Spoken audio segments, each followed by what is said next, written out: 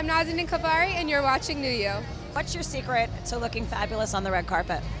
Oh, girl, oh, this took a lot of time. My makeup took me about an hour. My hair took me about another hour.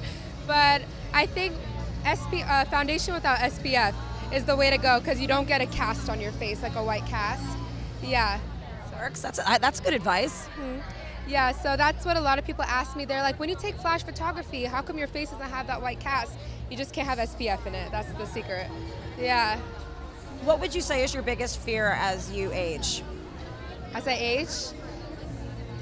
Um, probably I just, I really want to keep up what I'm doing. I don't want to go, you know, like downhill. I just want to go up, you know?